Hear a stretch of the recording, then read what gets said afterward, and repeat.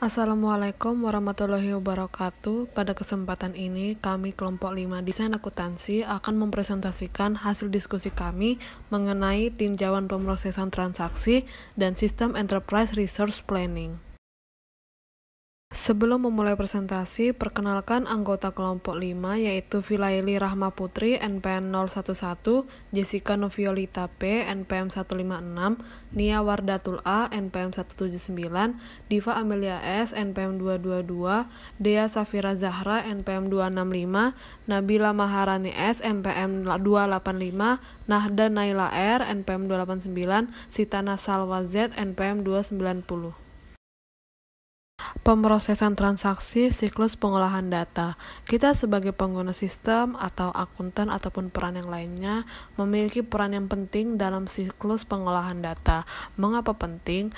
Dapat kita lihat dalam kehidupan kita, kita bertanya bagaimana data itu dapat dimasukkan, disimpan, diakses, dikelola, dan lain-lain.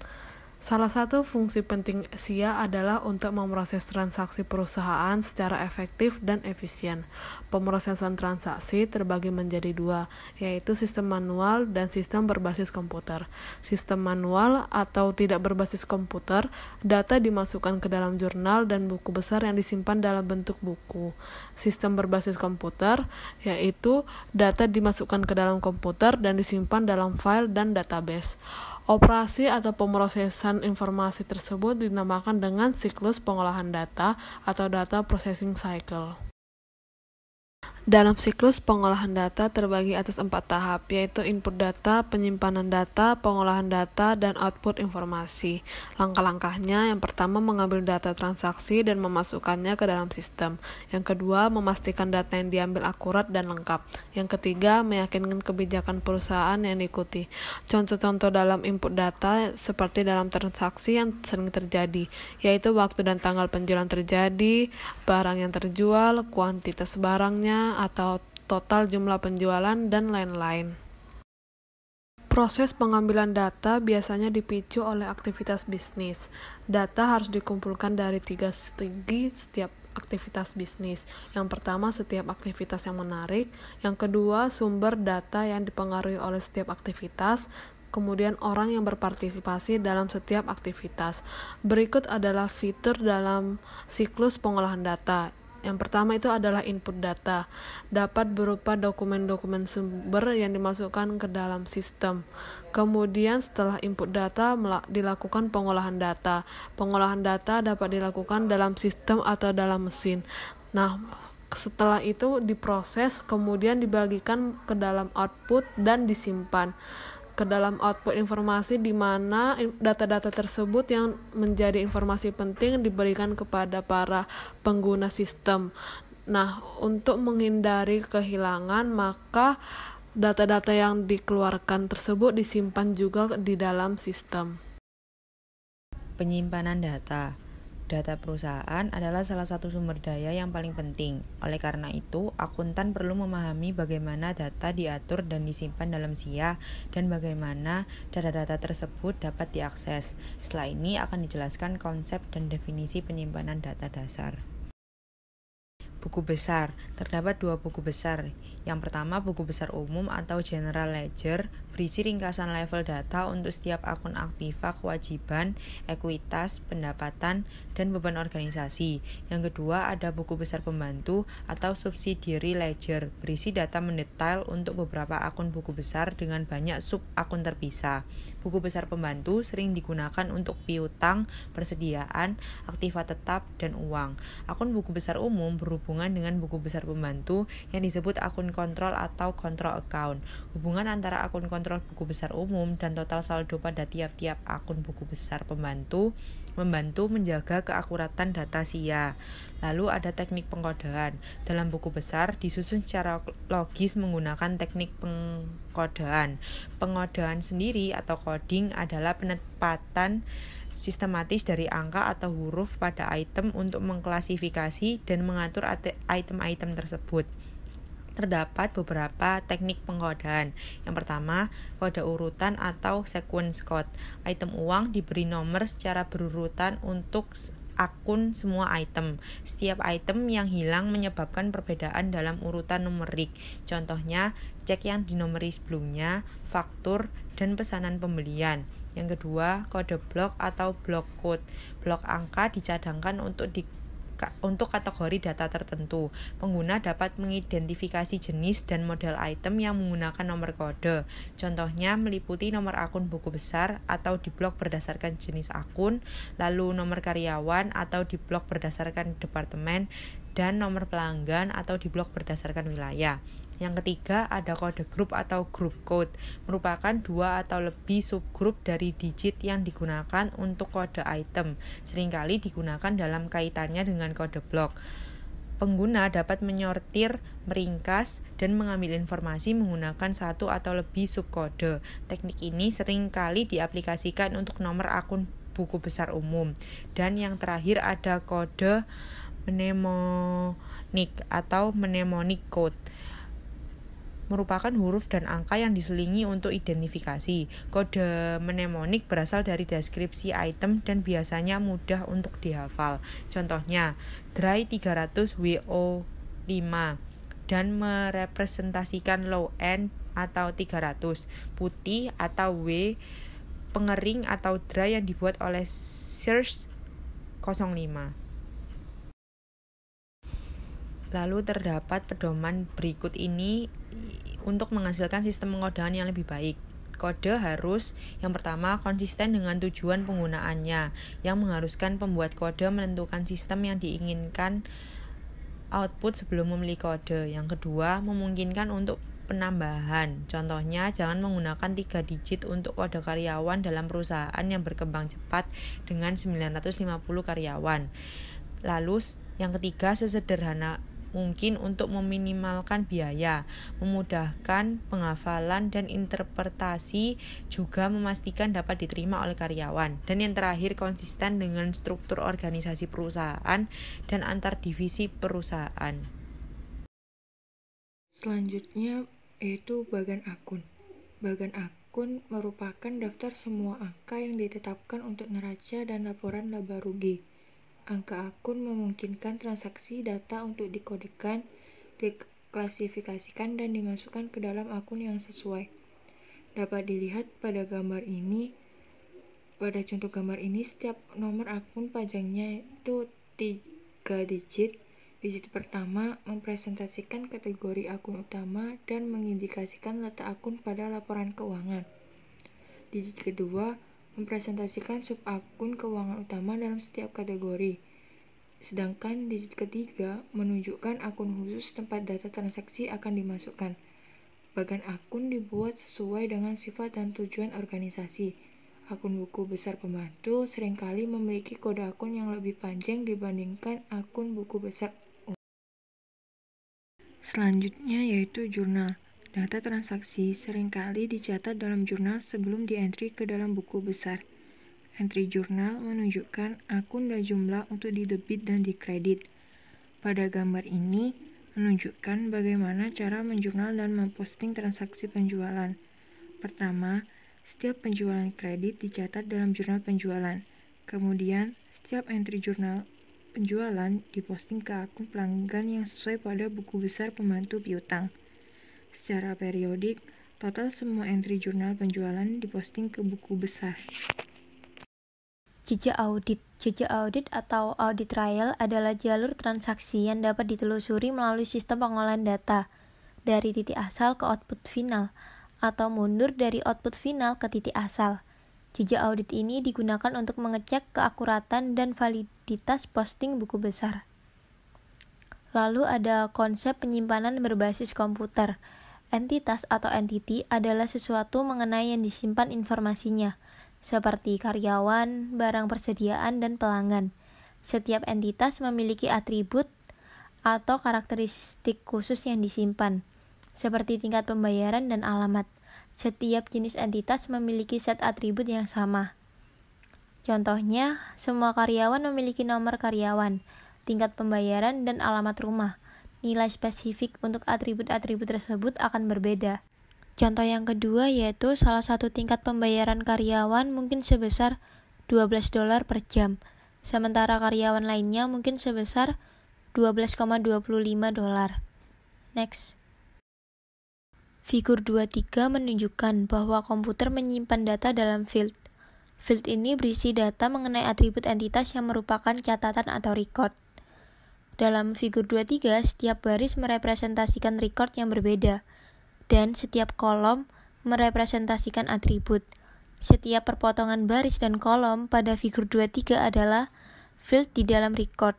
Kontennya disebut nilai data atau data value.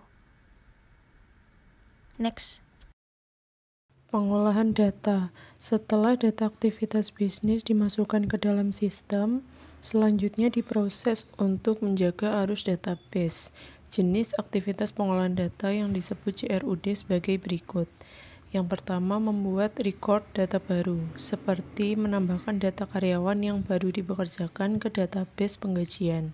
Yang kedua, membaca, mengambil, atau melihat data yang sudah ada. Yang ketiga, memperbarui data yang tersimpan sebelumnya. Yang keempat, menghapus data seperti membersihkan file induk vendor untuk semua vendor dalam perusahaan yang tidak lagi melakukan bisnis dengan perusahaan. Pemrosesan batch adalah pembaruan data yang dilakukan secara periodik, misalnya harian, sedangkan pemrosesan online atau real time adalah pembaruan data yang dilakukan pada saat terjadinya transaksi. Selanjutnya, output informasi. Ketika ditampilkan pada monitor, output mengacu pada soft copy. Ketika dicetak dalam kertas, output mengacu pada hard copy. Informasi ini biasanya disajikan dalam bentuk dokumen atau laporan. Dokumen sendiri adalah catatan transaksi atau data perusahaan, seperti cek dan faktur dikirimkan pada pihak eksternal, sedangkan laporan penerimaan dan daftar permintaan pembelian digunakan secara internal. Sedangkan untuk laporan sendiri digunakan karyawan untuk mengendalikan aktivitas operasional dan digunakan manajer untuk membuat keputusan dan merumuskan strategi bisnis. Di bawah ini merupakan proses memperbarui file piutang, dimulai dari data transaksi, yaitu nomor akun 0123, jenis transaksi penjualan, tanggal transaksi, 9 bulan 9 tahun 13, nomor dokumen 9876, jumlah transaksi 360 dolar.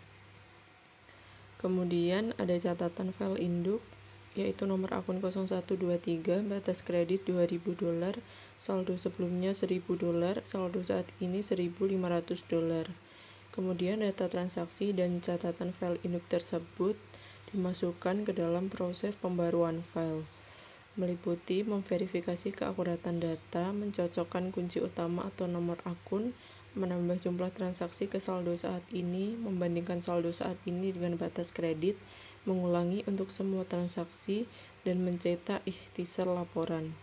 Setelah proses pembaruan file, kemudian langkah selanjutnya memperbarui catatan file induk sebagai berikut nomor akun 0123 limit kredit 2000 dolar saldo sebelumnya 1500 dolar saldo saat ini 1860 dolar Baik, untuk figur selanjutnya merupakan figur pemrosesan batch, di mana proses yang pertama yaitu mengelompokkan dokumen-dokumen sumber ke dalam batch, lalu membuat total pengendalian. Lalu selanjutnya, masukkan batch pada waktu yang ditentukan sebelumnya atau ukuran batch, lalu urutkan file dan data dan edit data yang sesuai.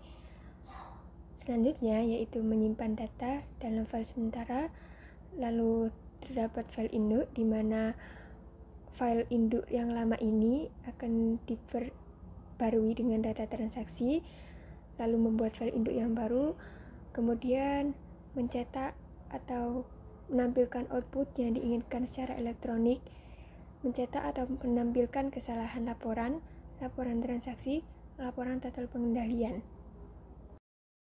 Kemudian yaitu figur selanjutnya pemrosesan baca online, di mana proses yang pertama yaitu memasukkan transaksi ke dalam sistem saat terjadi transaksi, lalu menyimpan data dalam file sementara, kemudian terdapat file induk, di mana proses file sementara pada waktu yang telah ditentukan ini, file induk yang lama diperbarui dengan data transaksi, kemudian membuat file induk yang baru.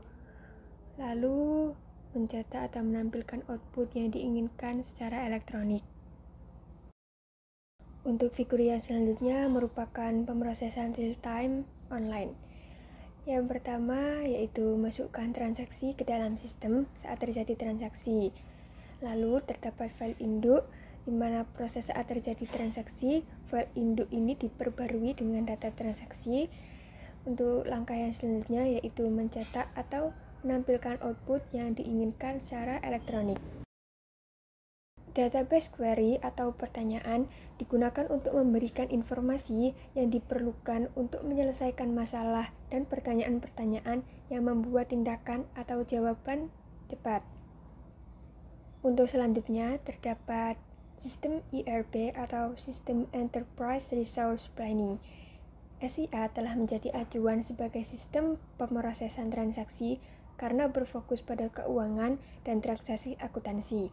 Sayangnya, keberadaan beberapa sistem berbagai permasalahan dan ketidakefisienan ERP sistem ini mengatasi permasalahan pada saat sistem mengintegrasikan semua aspek dalam operasi perusahaan dengan SIA tradisional. Sebagian besar organisasi besar dan menengah menggunakan sistem ERP untuk mengkoordinasikan dan mengelola data, proses bisnis, dan sumber daya mereka. Sistem ERP bersifat modular, dengan setiap modul menggunakan praktik bisnis terbaik untuk mengotomatisasi proses bisnis standar. Modul ERP biasanya mencakup sebagai berikut. 1. Keuangan, sistem buku besar dan pelaporan, buku besar, piutang, utang, aktiva, tetap, penganggaran, manajemen kas, dan persiapan laporan manajerial dan laporan keuangan. 2 SDM dan penggajian. SDM, penggajian dan imbalan kerja, karyawan, pelatihan, waktu dan kehadiran, manfaat dan laporan pemerintah. 3. Memesan kekas dalam kurung siklus pendapatan, entry pesanan, pengiriman, persediaan penerimaan kas, penghitungan komisi. 4. Membeli untuk membayar dalam kurung siklus pengeluaran, pembelian, penerimaan dan inspeksi persediaan, persediaan dan manajemen gudang dan pengeluaran kas. 5. Manufaktur atau siklus produksi, perkayasaan, penjadwalan produksi, daftar bahan baku, barang dalam proses, manajemen alur kerja, pengendalian kualitas, manajemen biaya dan proses manufaktur atau proyek. 6. Manajemen proyek, penetapan biaya, penagihan, waktu dan biaya, unit kinerja, manajemen aktivitas. 7 manajemen hubungan pelanggan, penjualan dan pemasaran, komisi, pelayanan, kontak, pelanggan, dan dukungan pusat panggilan. 8. Alat sistem. Alat untuk membuat data file induk, membuat perincian arus informasi, pengambilan akses, dan sebagainya. Kerugian sistem ERP 1. Biaya Perangkat cash ERP, perangkat lunak dan biaya konsultasi berkisar dari 50 juta dolar hingga 500 juta untuk perusahaan Fortuner, 500 dan pembaruan dapat menghabiskan biaya sebesar 50 juta dolar hingga 100 juta dolar. Dua, jumlah waktu yang diminta. Hal ini dapat menghabiskan beberapa tahun untuk memilih dan mengimplementasikan ERP secara penuh, tergantung pada ukuran bisnis, jumlah modul yang harus diimplementasikan, tingkat penyesuaian, lingkup perubahan, dan seberapa baik pelanggan mengambil kepemilikan proyek. Tiga, perubahan proses bisnis. Kecuali perusahaan ingin menghabiskan waktu dan uang untuk menyesuaikan modul, maka harus beradaptasi untuk menstandarisasi proses bisnis sebagai lawan dalam mengadopsi paket ERP untuk proses perusahaan yang ada. 4. Kompleksitas. Hal ini berasal dari integrasi berbagai aktivitas dan sistem bisnis yang berbeda. Masing-masing memiliki proses aturan bisnis, semantik data, hierarki otorisasi, dan pusat keputusan yang berbeda. 5. Resistensi Organisasi memiliki banyak departemen dengan sumber daya terpisah, misi, laba dan rugi, dan rantai komando mungkin percaya bahwa sistem tunggal memiliki beberapa keuntungan. Ini juga memerlukan pelatihan dan pengalaman yang dapat dipertimbangkan untuk menggunakan sistem ERP secara efektif dan penolakan karyawan adalah alasan utama Mengapa banyak implementasi ERP tidak sukses? Keuntungan sistem ERP Satu, ERP memberikan tampilan unggulan atas data organisasi dan situasi keuangan yang terintegrasi di seluruh perusahaan. Dua, input data diambil atau dikunci sekali dan tidak berkali-kali saat dimasukkan ke dalam sistem yang berbeda. Tiga, manajemen mendapatkan visibilitas yang lebih besar ke dalam setiap area perusahaan dan kemampuan dalam memonitor yang lebih besar. Empat, organisasi memperoleh pengendalian akses yang lebih baik. 5. Prosedur dan pelaporan yang telah distandarisasi antar unit bisnis. 6. Pelayanan pelanggan meningkat karena karyawan dapat mengakses pesanan dengan cepat. 7. Pabrik manufaktur menerima pesanan baru secara real time dan otomatis memproses manufaktur membuat produktivitas meningkat menuai keuntungan potensial dan mengurangi kerugian sistem ERP membutuhkan usaha sadar dan keterlibatan manajemen puncak. Sistem ERP sangat kompleks dan mahal. Alhasil, untuk melakukannya harus benar-benar memastikan bahwa sistem ERP yang memiliki modul untuk setiap proses perusahaan. Satu cara untuk memilih sistem yang cocok adalah memilih paket yang didesain untuk industri. Walaupun biaya akan menjadi perhatian besar, pembeli terlalu mudah dapat menjadi beban dalam jangka panjang jika sistem tidak memenuhi kebutuhan atau dapat meminimalkan risiko membeli paket yang salah dengan mencari vendor ERP. Perusahaan-perusahaan vendor ERP biasanya memberi tiga jenis jasa, yaitu konsultasi, penyesuaian, dan dukungan. Biaya implementasi lisensi pengguna juga beragam, bergantung pada perusahaan itu sendiri. Selanjutnya, konfigurasi yang tepat untuk proses yang secara otomatis memicu tindakan tambahan dalam modul lain sehingga dibutuhkan pemahaman semua proses bisnis mereka. Contohnya, mendirikan pusat biaya laba, kebijakan persetujuan kredit, dan aturan persetujuan pembelian. Dalam prosesnya, perusahaan dapat menyeimbangkan cara mereka dan menginginkan sistem beroperasi dengan cara mereka beroperasi. Jika tidak dapat diterima, perusahaan dapat memodifikasi modul dengan menggunakan sistem yang sudah ada dan membangun interface antar keduanya serta sistem ERP. Selain itu, semakin berubahnya sistem, semakin sulit untuk berkomunikasi dengan pemasok dan pelanggan. Agar konfigurasi menjadi lebih sedikit lebih mudah, uh, vendor ERP membangun alat konfigurasi built-in untuk menempatkan sistem banyak lebih banyak kebutuhan pelanggan demi perubahan sistem. Lalu pentingnya pengendalian internal dalam ERP tidak dapat dinyatakan secara berlebihan. Sifat terintegrasi sistem ERP berarti bahwa kecuali sistem item data divalidasi dan dicek untuk akurasi waktu entry awal, kesalahan akan secara otomatis tersebar lewat sistem. Pengendalian entry data dan pengendalian akses menjadi hal yang penting untuk memisahkan pertanggungjawaban penyimpanan aset, otorisasi aktivitas yang memengaruhi aset tersebut, dan mencatat informasi mengenai aktivitas dan status aset organisasi. Sekian presentasi materi tinjauan pemrosesan transaksi dan sistem enterprise resource planning dari kelompok 5. Apabila ada tutur kata yang salah mohon dimaafkan. Wassalamualaikum warahmatullahi wabarakatuh.